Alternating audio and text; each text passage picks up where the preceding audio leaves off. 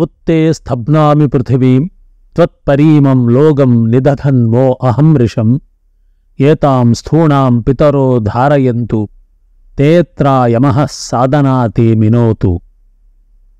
ఇది ఋగ్వేదంలోని ఒక రుక్కు అస్థికలను నింపిన ఓ మట్టికుండ నీపై కపాలాన్ని ఉంచడం ద్వారా పృథ్వీని స్థాపిస్తున్నాను. ఈ భారం నిన్ను బాధించకుండా ఉండుగాక. ఈ భారాన్ని పితృదేవతలు వహింతురుగాక. పితృపతి అయిన యముడు నీకు ఇచ్చట అనుకూలమైన స్థానాన్ని ఇచ్చుగాక. ఇది ఈ రుక్కుకు ఉన్న భావం. ఇది సాయుణ భాష్యానికి నేను చేసిన సరళమైన అనువాదం. సాయుణుల వారి భాష్యాన్ని తెరపైన చూడవచ్చు ఈ రుక్కుకు అర్థాలు చెబుతూ కొందరు భారతీయ తత్వవేత్తలు కుండకు బదులు కపాలానికే నిర్దేశం ఉన్నట్టు వ్రాశారు. ఇంకొందరు ఏ నిర్దేశం లేక అర్థాన్ని మాత్రమే వ్రాశారు. ఏది ఏమైనా ఋగ్వేదంలో మరణానంతర కర్మల్లో భాగంగా ఈ రుక్కు ఉన్నట్లు మనం తెలుసుకోవచ్చు. డేవిడ్ యాంథోనీ అనే ఆయన అమెరికన్ ఆంథ్రోపాలజిస్ట్. ఈయన ఆర్యవలస సిద్ధాంతపు తీవ్ర సమర్థకుడు. ఆర్యవలస సిద్ధాంతం పుట్టిన తొలి రోజుల్లో డేవిడ్ యాంథోనీ లాంటి పాశ్చాత్యులు ఆర్యవలస సిద్ధాంతం నూటికి నూరు శాతం నిజం అన్నట్లు ప్రచారం చేశారు. కాని ఈ సిద్ధాంతం కేవలం తమ ఊహల్లో పుట్టిందని ఇది ఒక ప్రతిపాదన మాత్రమే అని వాళ్ళు చెప్పేవారు కాదు. ఇందువల్ల తమ సిద్ధాంతపు కోణాలన్నీ నిర్ధారితమైన వాస్తవాలు అంటే ప్రూవెన్ ఫ్యాక్ట్స్ అని అనుకునేవాళ్ళు. భారతదేశంలో విద్యా విధానం కమ్యూనిస్టుల చేతిలో పడి ధ్వంసమైన కారణాన ఈ అవాస్తవాలు పాఠ్యపుస్తకాలలో ఠీవిగా తిష్టవేసుకున్నాయి. అయితే కాలం మారుతూ సమాచార జ్ఞానం వెల్లువవుతూ ఉండడంతో ఈ సిద్ధాంతాలను ఊరికే అలా ఏదో ఒకటిగా వ్రాసి ఒప్పించే స్థితి మారిపోయింది. దరిమల ఈ పాశ్చాత్యులు కొత్తబాట పట్టారు. ఉన్న విషయాన్ని చిలవలు పలవలు చేసి విపరీతమైన విషయ సంగ్రహాలను చేర్చి ఉక్కిరిబిక్కిరి చేయడం ఒక పద్ధతి. వీటి మధ్య అబద్ధాలను నిజాలుగా చలామణి చేయించడం రెండవ పద్ధతి. ఇందుకు చక్కటి ఉదాహరణ డేవిడ్ యాంథోనీ వ్రాసిన పుస్తకం హార్స్ వీల్ అండ్ లాంగ్వేజ్. ఈ పుస్తకం రెండు వేల ఏడులో వచ్చింది. అప్పటి నుండి నేటి వరకు ఎన్నో కొత్త పరిశోధనలు వెల్లువెత్తాయి గనక ఈ పుస్తకానికి కాలదోషం పట్టినట్టే భావించాలి. ఈ పుస్తకం వచ్చిన కొత్తల్లో యథావిధిగా భారీ పబ్లిసిటీ ఇవ్వడం జరిగింది. ఇందులో వ్రాసినవన్నీ ప్రామాణిక విషయాలని తీవ్రమైన ప్రాపగాండా ద్వారా ఎస్టాబ్లిష్ చేయడం జరిగింది. అయితే ఈ కాలంలో ఈ పుస్తకంలోని ఎన్నో విషయాలు తప్పని రుజువు చేసే ఆధారాలు దొరికాయి. అయినా సరే కుహనావాదులకు వలస సిద్ధాంత సమర్థకులకు ఇది ఇంకా గొప్ప రెఫరెన్స్ పుస్తకంగానే మిగిలి ఉంది. ఆర్య వలసవాదులకు అంత ప్రామాణికమైన ఈ పుస్తకం గురించి కొన్ని మాటలు చెప్పుకుందాం.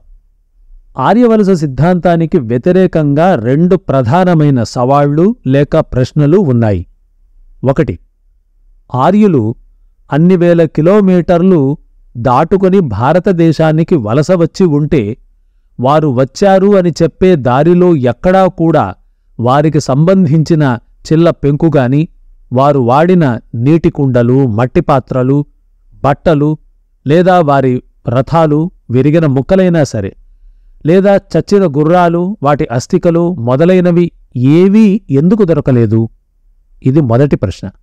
రెండవది వలస వచ్చిన ఆర్యులే వ్రాశారు అని చెప్పే వేదవాంగ్మయంలో ఈ వలసల గురించి కాని వలస సంస్కృతి గురించి కాని ఒక్క ప్రస్తావనైనా లేదు. ఎందుకని? డేవిడ్ యాంథోనీ తన పుస్తకంలో ఈ రెండు ప్రశ్నలకు సమాధానమివ్వాలని అనుకున్నాడు. కాని అతను పాటించిన విధానం మాత్రం చాలా తెలివి తక్కువతనంతోనూ హాస్యాస్పదంగానూ ఉంటుంది. ఒకటి రెండు ఉదాహరణలిస్తాను చూడండి. నేటి కజకిస్తాన్లో పురావస్తు త్రవ్వకాలలో ఒకటి రెండు మనుషుల కళేబరాలు వాటితో పాటు పూడ్చిన గుర్రాల ఎముకలు కనిపించాయి. ఇవన్నీ ఒక గదిలో ఉన్నాయి.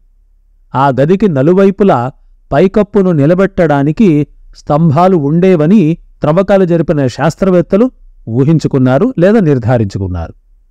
ఈ కజకిస్తాన్ ఆనవాళ్ళను చూసిన డేవిడ్ యాంథోనీ కొన్ని ప్రతిపాదనలు చేస్తూ వెళ్ళాడు. ఏమని? ప్రాచీన భరతఖండంలో గుర్రాల జనాభా తక్కువ అన్న ఊహ ఒకటి ఉంది. వలసవాదులకు ఇదొక తిరుగులేని సత్యం. ఇది కేవలం భ్రమే అని తెలిసినా వాళ్ళు దాన్నే నమ్ముతారు. సరే మనం కూడా నిజాన్ని నిర్ధారించుకోవడం కోసం ఈ వాదాన్ని లెక్కలోకి తీసుకుందాం. వీరి వాదం ఏమిటి? భారతదేశంలో గుర్రాల సంఖ్య తక్కువ. అయితే అటు యూరేషియాలో గుర్రాల సంఖ్య చాలా ఎక్కువ. దరిమిల భరతఖండానికి గుర్రాలను గుర్రాలు కట్టిన రథాలను తీసుకువచ్చిన వారు ఆర్యులు.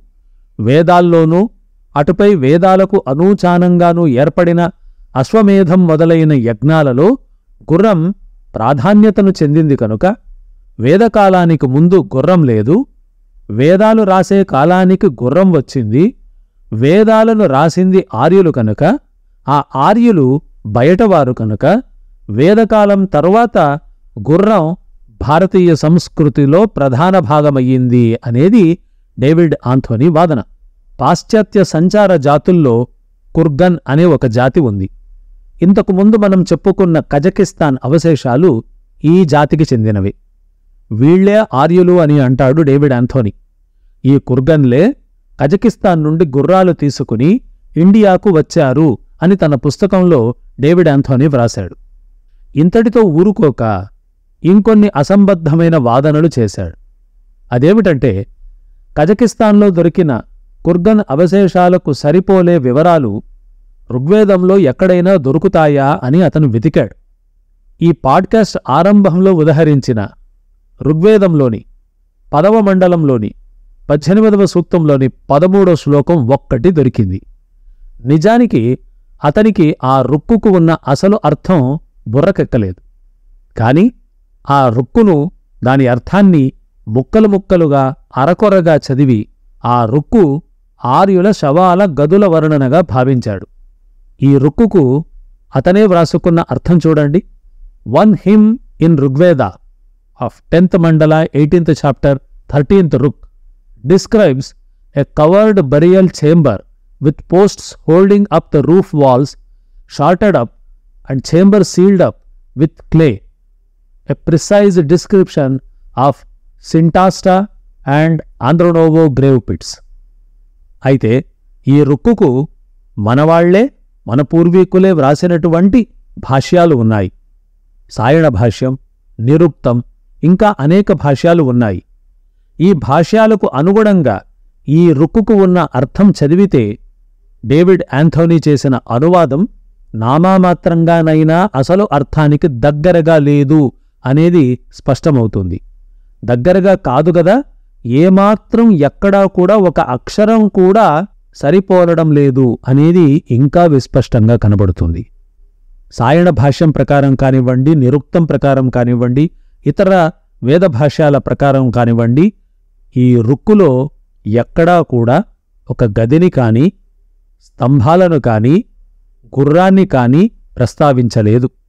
ఈ రుక్కులో ఉండేదంతా కూడా యముడు పితృదేవతలు అస్థికలు కుండ ఇంతవరకే. దీనివల్ల మనకేం అర్థమవుతుంది చెప్పండి?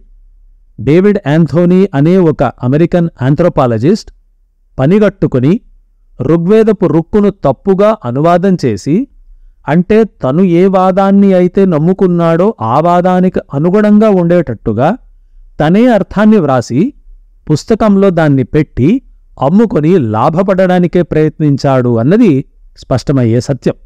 ఇంకా ఈ అంశానికి సంబంధించి కొన్ని ముఖ్యమైన విషయాలు ఉన్నాయి. అందులో ఒకటి ఋగ్వేదంలో పదవ మండలంలో పద్దెనిమిదవ అధ్యాయంలో చూస్తే ఇది శ్రౌత స్మార్త కర్మల్లో భాగమైన శ్రాద్ధ కర్మలకు చెందిన కర్మకాండలకు మూల రూపాలు అని అర్థమవుతుంది.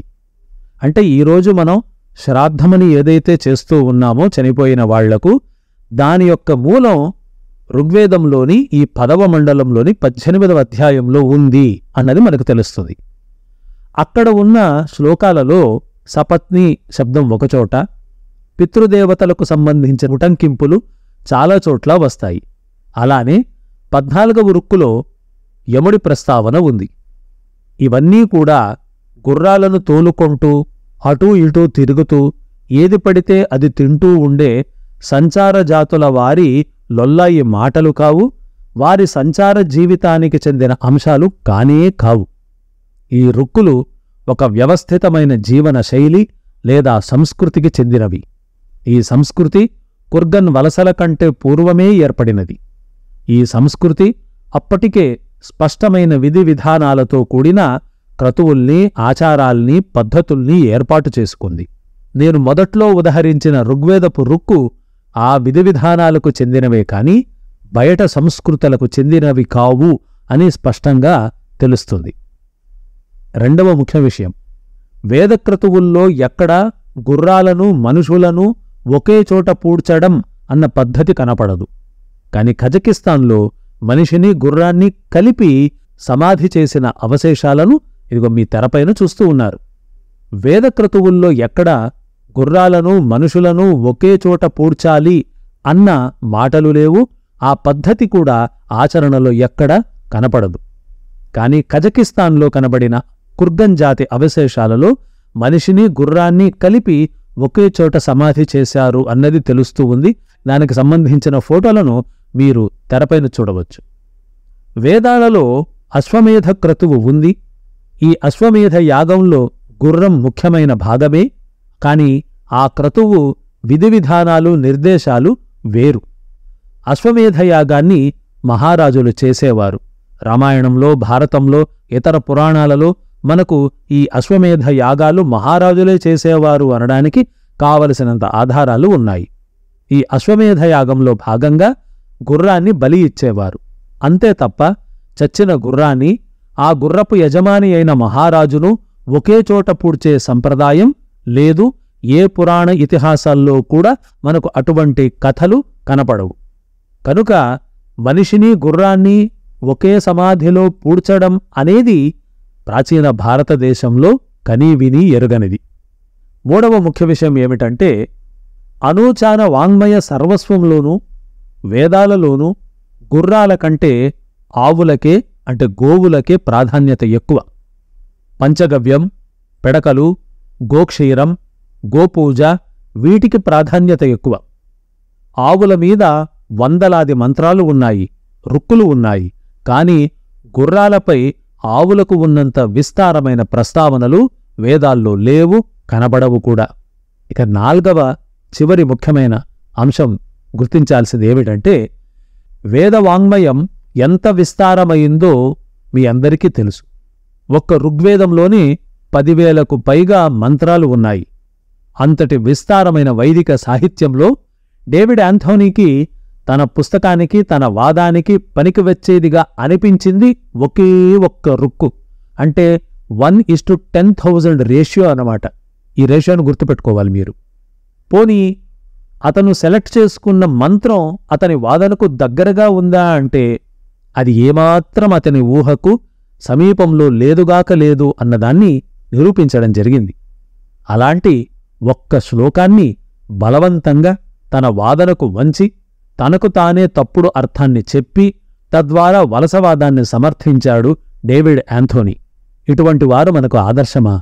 దురదృష్టవశాత్తు ఈ తప్పుల తడకలు మన దేశపు సోకాల్డ్ మేధావులకు సోకాల్డ్ పరిశోధకులకు తిరుగులేని సత్యాలు.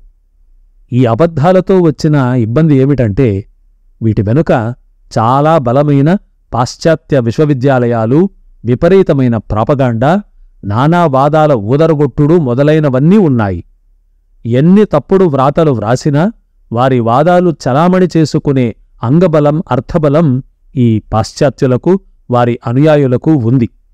కనుక ఎంత తప్పుల తడకలైనా ఇటువంటి పుస్తకాలే భారతదేశం విద్యార్థులకు గొప్ప రెఫరెన్సులుగా మారుతున్నాయి. ఈ దేశంలోనే ఉన్న స్వార్థపరులు కొందరు ఆ పాశ్చాత్యుల పుస్తకాలను కాపీ కొట్టి తాము పుస్తకాలు రాసి అమ్ముకొని లాభపడుతున్నారు. ఏ కొంచెమైనా సంస్కృతం చదువుకొని తార్కికంగా అంటే లాజికల్గా ఆలోచించి ప్రశ్నించే బుద్ధి కలిగిన వారికి ఎవరికైనా సరే ఈ వలసవాదాల వెనుక ఉన్న కుత్సితత్వము స్వార్థము తప్ప మరేదీ లేదనేది తెలుస్తుంది. ఇంత స్పష్టంగా వివరాలు తెలుస్తూ ఉన్నా ఆ వాదాలకు కొమ్ము కాసే వారికి ఏదైనా ఒక ప్రయోజనం లాభం లక్ష్యం ఉండి తీరాలి కదా? లేకపోతే చెబుతున్నది అబద్ధాలని తెలిసి వారు ఎందుకు చెబుతున్నారు? మీరు ఆలోచించండి. తరువాతి భాగంలో భారతదేశంలో గుర్రాలు ఉండేవి అని దొరికిన ఆధారాలను ఆర్యవలసవాదులు వారి భారతీయ అనుచరులు ఎలా తొక్కేశారో తెలుసుకుందాం. ఈ లఘుచిత్రం మీకు నచ్చినట్లయితే ఇందులోని అంశాలు ముఖ్యమైనవి అని మీకు అనిపిస్తే దయచేసి ఇతరులతో పంచుకోండి. ఘనమైన మన సాంస్కృతిక చారిత్రక సంపదను కాపాడుకునే యజ్ఞంలో మాకు సహకరించండి. ధన్యవాదాలు.